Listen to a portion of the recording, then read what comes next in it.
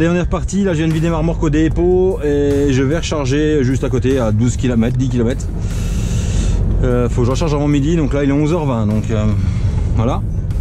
Euh, je recharge avant midi. Ensuite, je vais. euh, je vais. ah, je patine.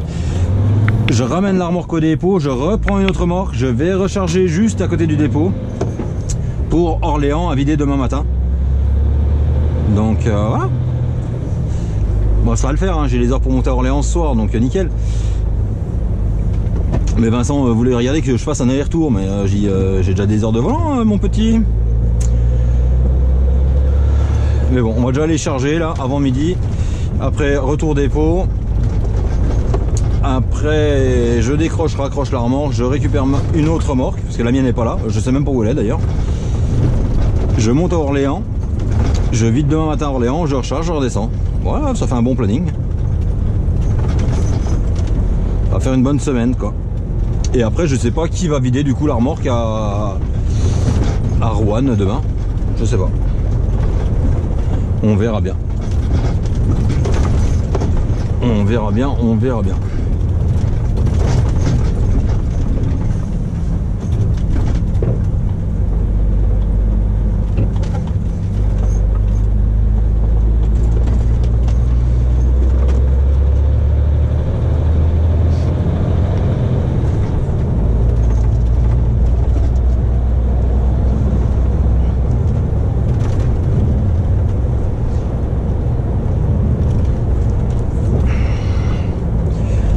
Je vais charger chez un ancien client qu'on vient de récupérer, qu'on vient récupérer, qu'on a récupéré.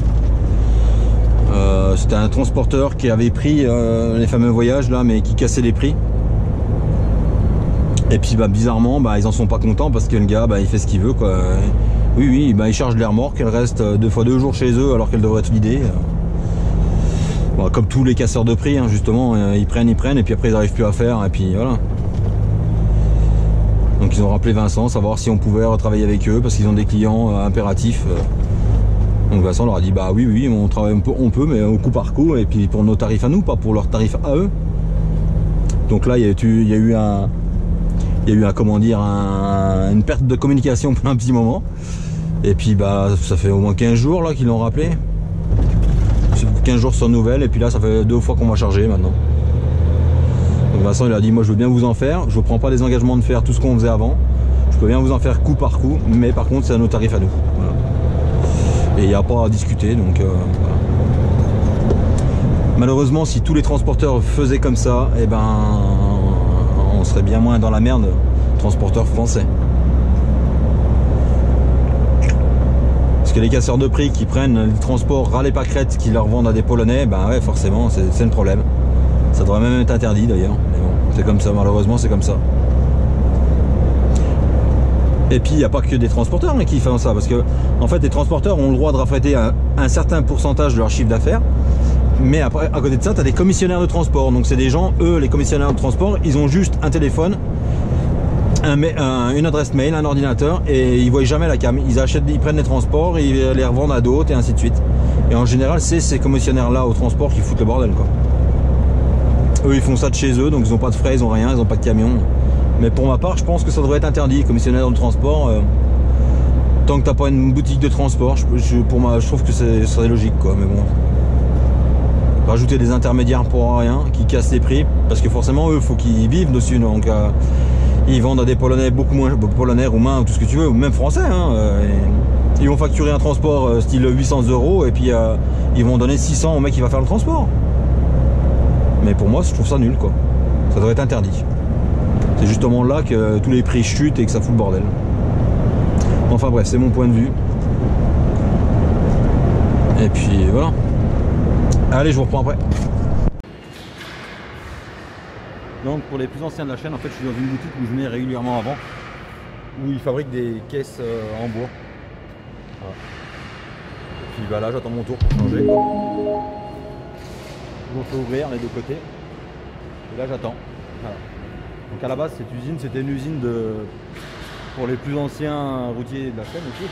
C'était une usine où on fabriquait des, dans le temps des baignoires. Et en fait, c'était où ils passaient les baignoires en fer quoi, dans les bains d'émail. Qu'on a à Guignon. ensuite ça s'est transformé euh, cette usine dans une usine euh, d'emballage en fait. Ils faisaient des emballages pour Ugine. Où ils faisaient des caisses en bois, des trucs comme ça, comme derrière moi. Alors, et puis voilà, donc là bah, j'attends mon tour pour pouvoir charger. Donc en fait on est rentré par la porte qui est là. C'est un peu chaud à rentrer d'ailleurs, j'ai oublié de filmer, peut-être que la dashcam l'aura pris. Et ensuite on ressort par là-bas. Et si je trouve les images dans la dashcam, je vous les mettrai en même temps. Voilà.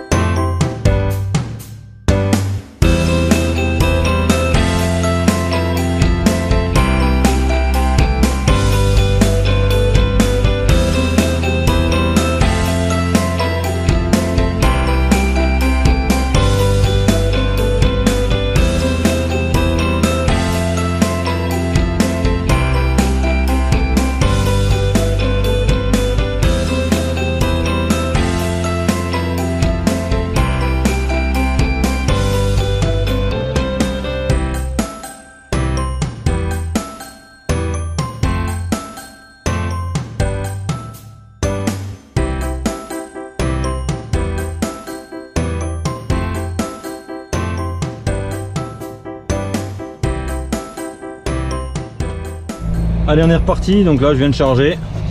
Donc c'est même pas pour moi, hein. la remorque je la pose au dépôt et euh, moi je file recharger juste à côté quoi. Comme je vous ai dit tout à l'heure. Il y a des trous partout là, putain.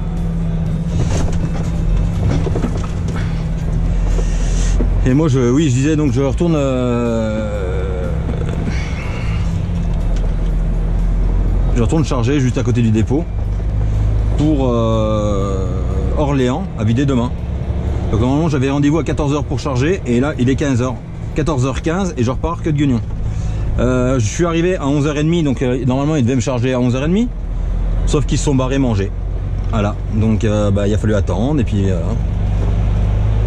donc ça fout bien le bordel. Je vais dire on retard retard pour recharger. ah bon c'est comme ça maintenant. Et c'est pas comme si Vincent les a appelés quand je suis parti. Oui oui envoie ton camion. Il n'y a pas de problème on charge on charge avant midi il n'y a pas de problème. Sauf que je suis arrivé, bah, ils étaient en train de se barrer. Bah, ils étaient en train de se barrer. Il y en avait un autre qui était en attente de chargement. Et puis bah non, ils avaient décrété qu'ils me chargeaient pas avant ton clignotant. Ils avaient décrété qu'ils me chargeaient pas avant euh, avant 13h, ils me faisaient pas rentrer, donc voilà. Donc à 13h ils m'ont fait rentrer, j'ai des sanglés, j'ai le tiroir qui s'ouvre, j'ai des sanglés, euh, j'ai tout préparé pour charger, et puis ils étaient en train de charger un autre, et puis après ils m'ont chargé. Et puis là on est reparti euh, direction Digoin. Voilà.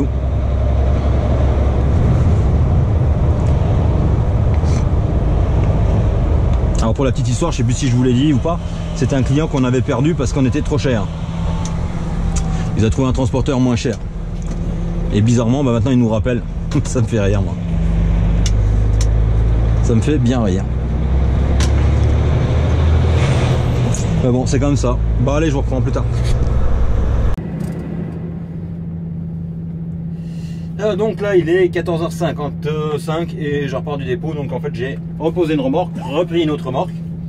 Donc j'ai posé la remorque qui n'était pas à moi pour reprendre une autre remorque qui n'était pas à moi. Et là je vais charger juste à côté du dépôt en fait. Et je vais charger, après je vais repasser au dépôt. Là je suis à 100 mètres hein, donc ça va être vite fait. Je recharge, je repasse au dépôt, je vais prendre ma douche vite fait. Et après, je monte direction euh, Orléans. Je change le Et après, ouais, je charge de la direction Orléans. Après, je sais même pas quelle heure j'ai rendez-vous demain. On verra bien. On verra bien.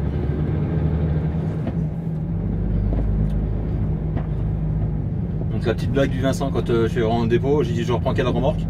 Il me regarde, il me dit bah une rouge. Il y en a trois dans le cours. Vincent quoi, Bah, une rouge Bah ouais. Ouais. Il y a une bleue, j'aurais pu prendre la bleue. mais- Puis voilà, donc là, euh, vous voyez, euh, le temps que je vous parle, j'y arrive hein, chez le client. C'est vraiment pas loin.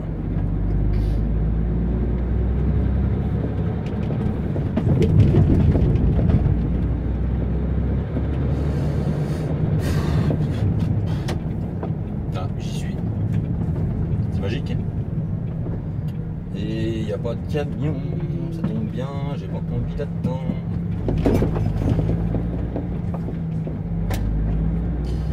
Donc voilà, voilà. Allez, je vous reprends dans pas longtemps. Bon, après la douche, quoi. Pour vous, dans pas longtemps. Bah, pour vous, tout de suite, quoi.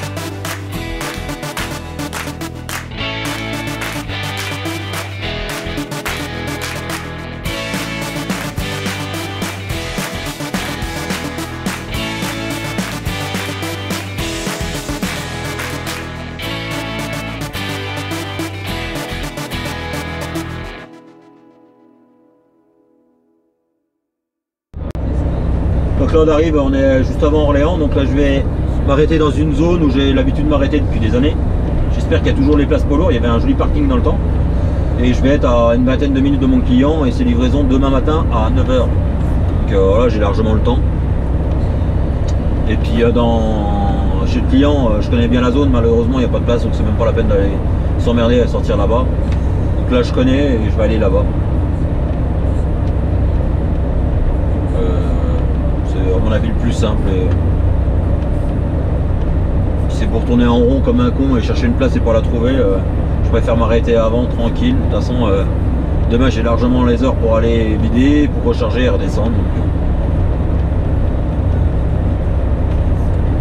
Mieux ça que de s'arrêter et puis de couper en plein milieu, euh, le long de la route et tout ça, c'est bon. Surtout que je vais faire une bonne coupure, alors autant faire une bonne coupure dans de bonnes conditions. Euh, par contre, j'espère que j'ai pas loupé la sortie.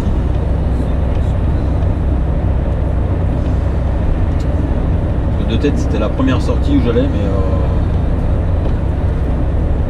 ça fait tellement longtemps que je suis pas monté à Orléans. Et pourtant, c'était une route qu'on faisait tout le temps. Si c'est ça, parce que l'aérodrome est là, c'est la place. Euh, avant, on faisait tout le temps dans la boutique où je travaillais avant. On faisait tous les jours, on avait euh, un complet qui montait Chalon-sur-Saône Orléans. On chargeait à Orléans, on descendait. Ah bah même chez Vincent d'ailleurs. pour le client chez qui j'étais chargé tout à l'heure où ça s'est mal passé, avant on faisait un complet ouais, ou deux complets par semaine, je sais pas.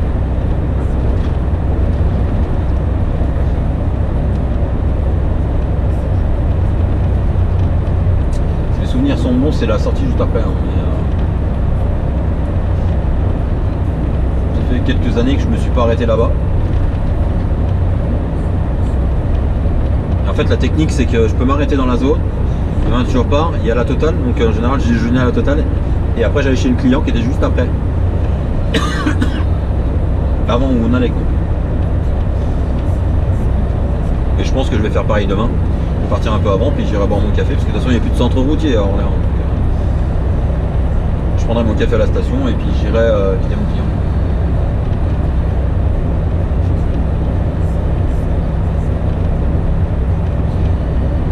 Ah c'est ça, je vois la zone, je vois les, les sur le GPS, c'est ça.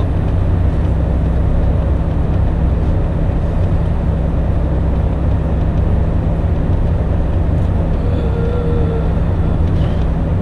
Franchement, j'ai un doute là. Si c'est ça. Ouais. Ouais, de toute façon, on va bien voir, on va sortir puis on verra. Mais il me semble bien que si c'est ça. c'est ça. Le principal, c'est d'y croire. si c'est ça, on des loges. Je sais qu'il y avait même un resto avant, mais euh, va.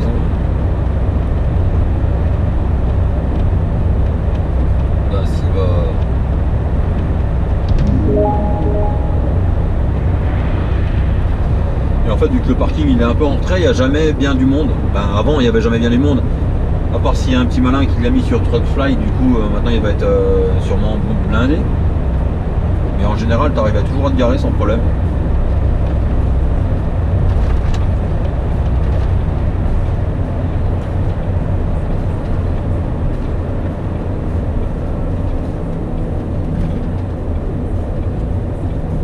Alors déjà là, il n'y avait pas du tout de rond-point avant.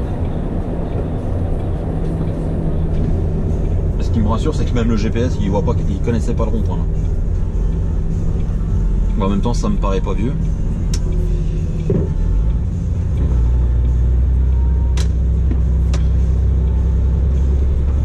C'est ça, il y a le rond-point d'après, rond-point à droite, c'est ça. Il y a les gens qui roulent avec les anti-brouillards. Putain.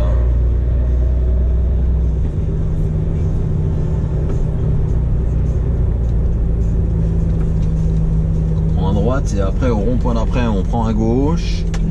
Et les places de parking sont là-bas en descendant. Je me rappelle même que sur la droite là, juste en rentrant dans la zone, il y avait des places.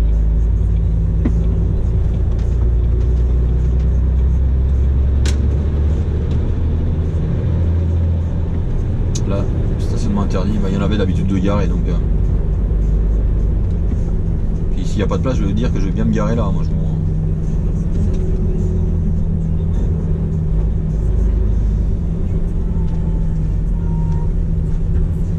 J'ai l'impression que ça a l'air bien plein.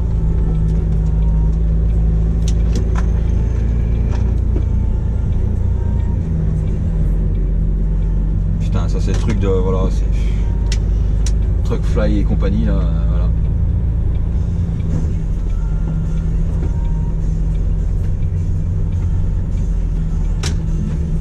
Ah, une remorque décrochée, génial. Ah bah il y a une belle place là, voyez. Si, il y a des places après encore.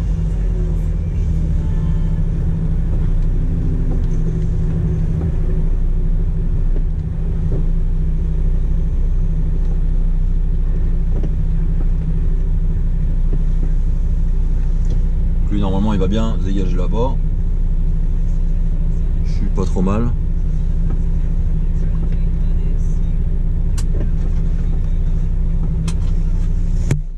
Il y a une station de lavage mais maintenant, hein, c'est pour ça. Donc voilà, voilà. Donc ça ira bien pour aujourd'hui et je vous reprendrai demain. Allez. Euh, donc là, il est exactement 8h. Et euh, la boutique que j'ai dit ouvre, ouvre 9h. Donc du coup, ben, je vais y aller là. Comme ça, je vais m'arrêter à la station en passant. Je vais aller déjeuner. Et après, je vais aller vider mon client. Et après, euh, je sais pas ce que je recharge encore. Donc voilà. Donc allez, on va faire un petit tour du camion euh, vite fait. Et après, on est parti.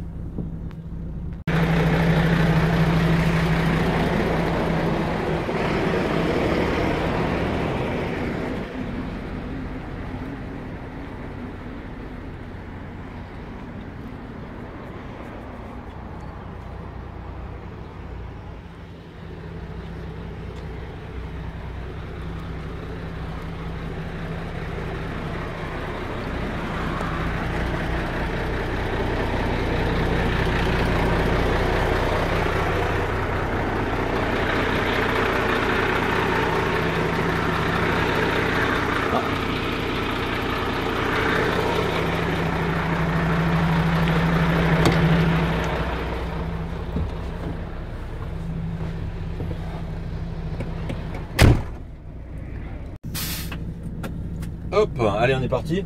Donc pour ceux déjà qui vont me dire en commentaire, parce que là en ce moment ça arrête pas. Euh, t'as pas, ça te dérange pas laisser tourner le camion alors qu'il y en qui dort Bah non, non. Non, non, faut pas oublier qu'à la base je suis quand même mécanicien. Donc tu sais qu'il y a de la mécanique, bah faut que ça chauffe un minimum quoi. Euh, donc euh, voilà. Et puis moi quand je suis en frigo, le frigo il démarre bien. Il tourne bien le frigo quand tu. quand tu. en pleine nuit. Eh ben c'est comme ça, ça fait partie du job malheureusement. Il y en a des fois qui laissent tourner le camion toute la nuit aussi. Quand il fait, quand il fait froid, il y en a qui laissent tourner le camion toute la nuit quand il fait trop chaud. Euh, moi je le laisse tourner juste 5 euh, minutes pour qu'il chauffe, pour le respect de la mécanique quoi. Donc euh, non, ça me dérange absolument pas quoi.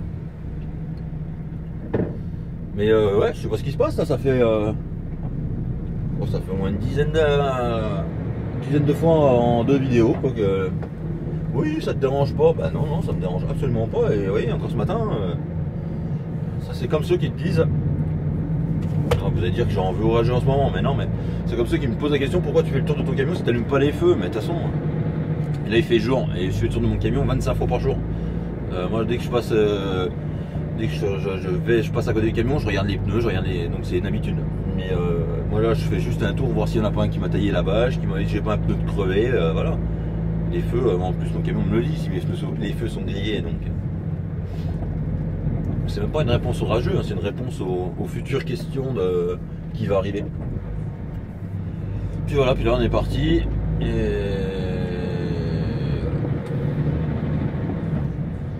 Je reprends après.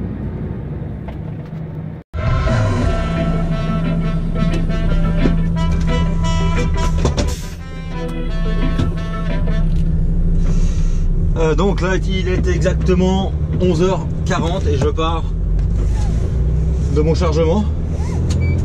Donc en fait, je suis arrivé, c'était 10h30. Je sais plus si euh, je vous l'ai dit ou pas.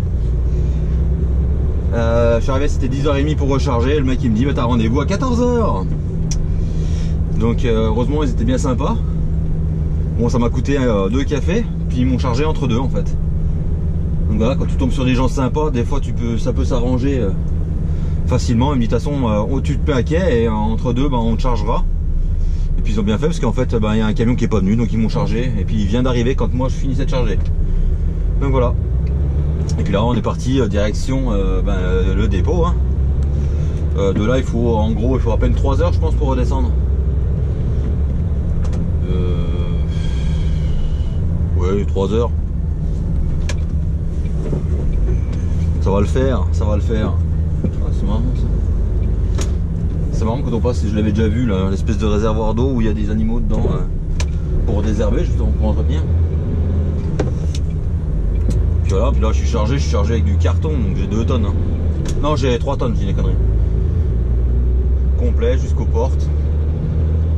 Je sais pas ce que j'en fais, si je le reprends, si je le vide arrivé au dépôt, je le remets dans ma remorque, ou si euh, je reprends carrément une autre remorque pour être en départ lundi, ça m'arrangerait, mais on verra bien. Allez, je vous reprends après.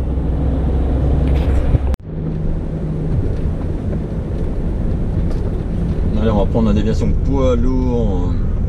Et on va passer devant la centrale. Ah, purée. Il y a des agglomérations. J'aurais pu m'arrêter, mais mon camion s'est pas arrêté. Il y a des agglomérations, c'est vraiment défoncer les routes.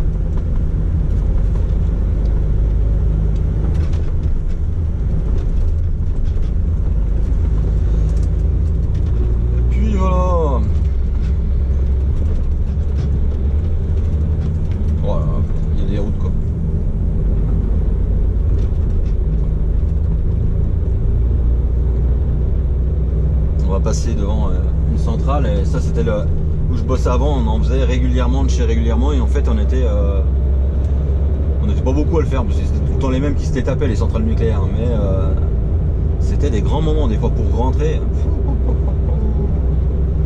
Il y a des endroits où tu rentrais c'était compliqué des endroits où tu rentrais comme si de rien n'était c'était bizarre d'ailleurs.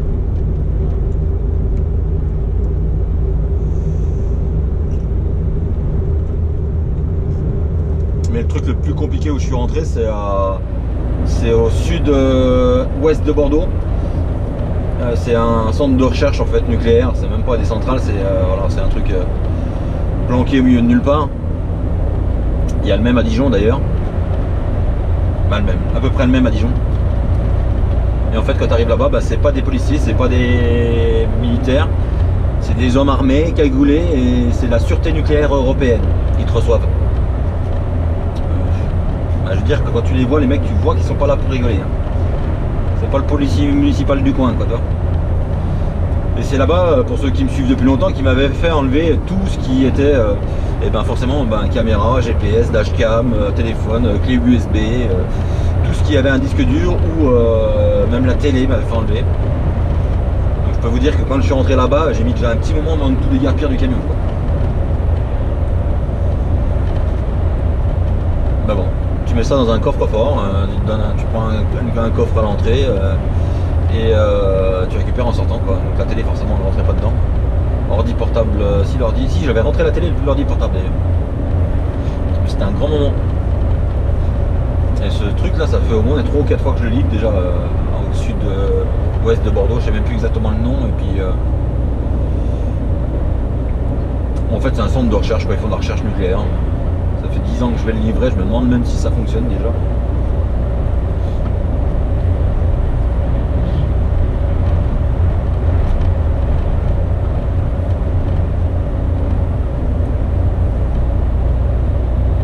Les fameuses centrales.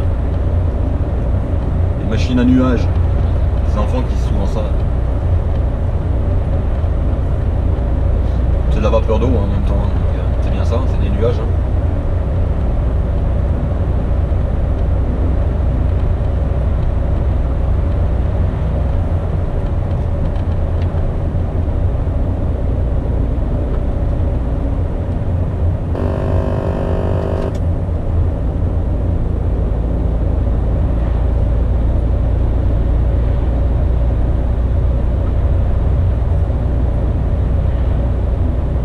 On voit bien les jets d'eau euh, pour refroidir.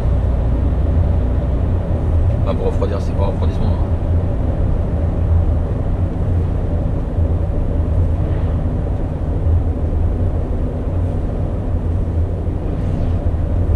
Je serais de savoir la consommation d'eau que ça représente ça. La consommation oui et mais euh, si ça doit être énorme les litres d'eau que ça doit bouger, qui doivent bouger par jour.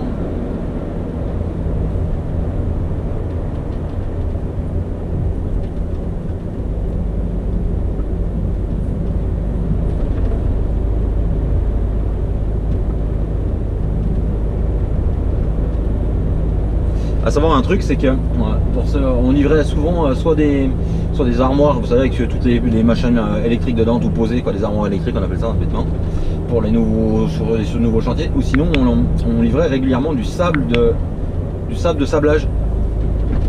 Et la petite particularité, particularité du sable de sablage, c'est que c'est radioactif. En fait, c'est normal, hein, n'importe quel sable, tu le passes, c'est radioactif, c'est c'est comme ça, il n'y a rien de dangereux. Mais le problème, c'est que quand tu rentres, et ben en fait, euh, les portails d'entrée, ben, tu rentres, ça sonne quoi. Donc là, tu vois tout le monde débarquer. Donc euh, moi à la fin, je les prévenais, je dis, vous inquiétez pas, c'est du sable de sablage, donc forcément, ça va déclencher les portails. Et puis bon, bah, il y a des endroits, ils étaient plutôt tolérants que d'autres, donc ils savaient qu'on amenait du sable de sablage, que ça sonnait, donc voilà. Et ça m'est déjà arrivé, par contre, qu'ils fassent euh, intervenir une hein, c'est une brigade exprès quoi, ils viennent. Et en fait, ils partent les sacs, ils font un prélèvement pour voir si c'est réellement le sable qui est radioactif ou pas. Donc euh, bah, quand c'est comme ça, bah, ils te prennent un prélèvement par palette, donc euh, tu as 26 palettes, voilà le travail. Donc tu es là-bas pour une demi-journée. Mais bon, les gens ils disent, euh, par contre, euh, on vous laisse rentrer parce que ça sonne, on vous laisse rentrer, il n'y a pas de problème. Mais par contre, on n'avait pas le droit de ressortir. Donc une fois, ça m'est arrivé qu'ils se trompent, bah, pas moi, mais bah, pas moi, c'est pas nous qui nous sommes trompés. Mais en fait, ça m'est arrivé, j'ai livré du sable, mais c'était pas le bon grain. Vous savez, le bon, diamètre de, sable, quoi. Ça, c'est pas mon problème à moi, c'est le problème de l'expéditeur, quoi. Et ben, du coup, on a tout laissé sur place parce que ça part à la destruction. Vu que c'est radio, pour eux, c'est radioactif, ça déclenche les portails, donc ça n'a pas le droit de sortir. Donc voilà. Donc, en fait, il y a un gars qui a payé 26 tonnes de destruction pour du sable, alors qu'il s'était juste trompé de calibrage de sable, quoi. Bon, les gars te préviennent bien, hein, tu rentres, ça sonne, tu rentres, a pas de problème pour rentrer.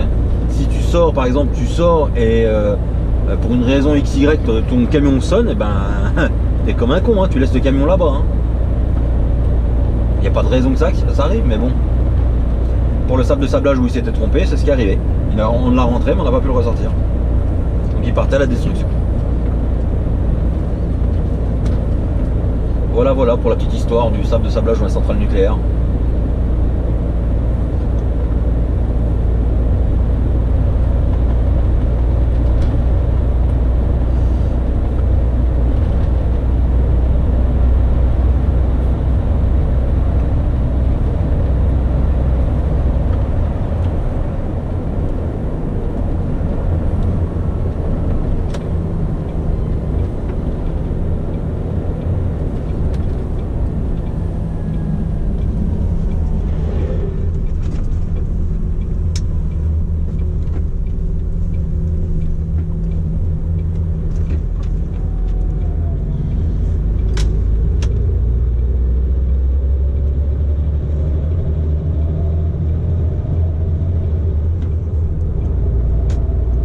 Allez.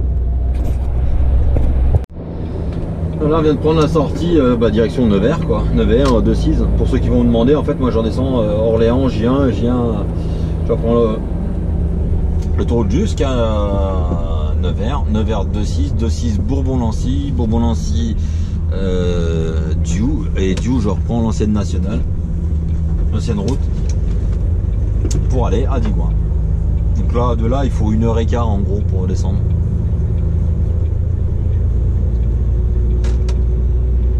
Va arriver à 2-6, à 2-6, 9h. Bah 9h Saint-Éloi. quoi.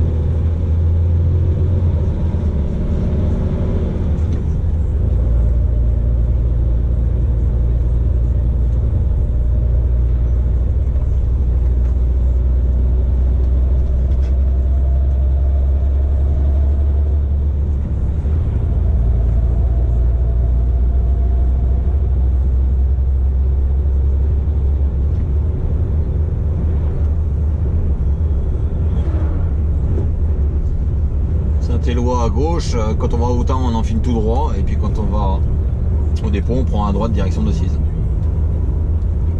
Ah, et puis il passe bien par là lui, putain.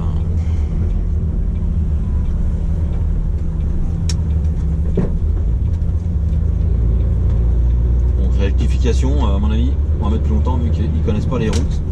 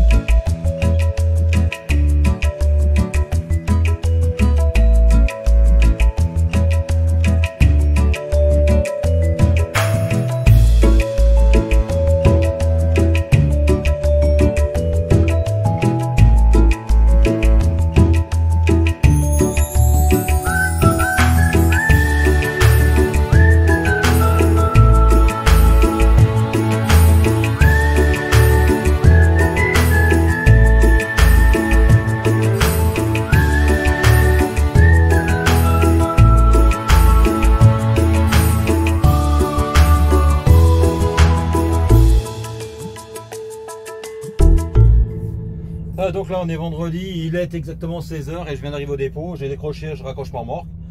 Et puis je vais laver mon camion, et puis voilà, puis la semaine sera torchée. Donc euh, lundi, je pars pour Toulouse. Il y a 180 mètres à quai. Je vais lui filer un coup de main et après je vais rentrer chez moi et la semaine sera finie. Donc là, j'ai 3055 km. Donc ça fait une bonne semaine. Et puis voilà, donc euh, j'espère que la vidéo vous aura plu. Et puis euh, n'hésitez pas à liker, partager, commenter. Et je vous dis à très bientôt pour une prochaine vidéo, vlog, live, tuto, j'en sais rien. À bientôt quoi. Allez, ciao